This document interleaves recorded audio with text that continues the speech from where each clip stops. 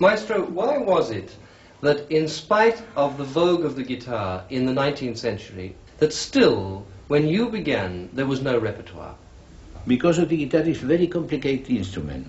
By being the only string instrument really polyphonic, it is impossible to compose if you don't play it, and if you don't play it well.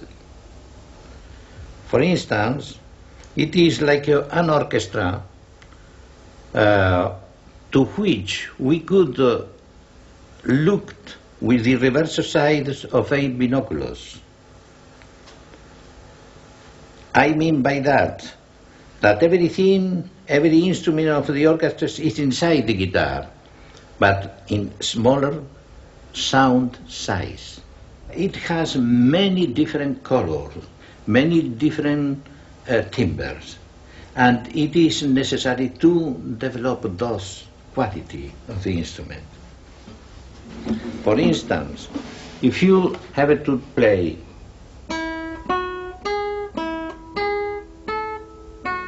sounds that the same thing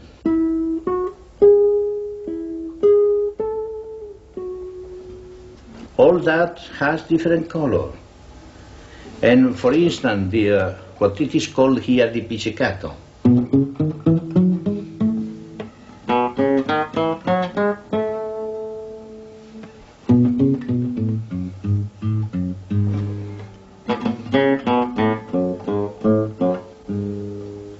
cielo.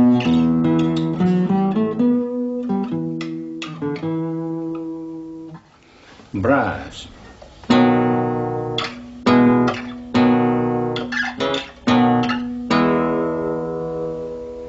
This pianissimo.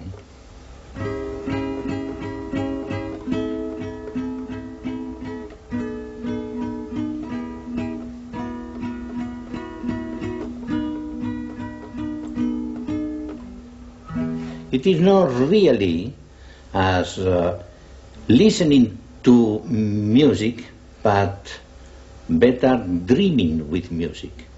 Do you mean that when a composer has written something for you, that you then decide which of these colors to use, or do they indicate things that they want? When they indicate, so to speak, the orchestration of their work in the guitar, uh, mostly they make me laugh because it is impossible, impossible what they pretend.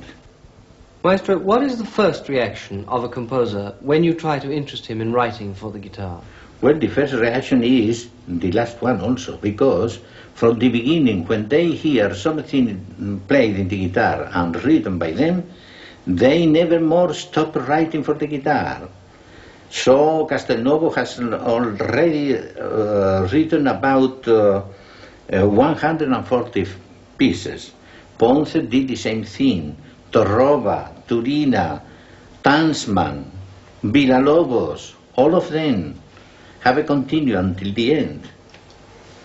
You said that Torroba was the first person to write yes. for you.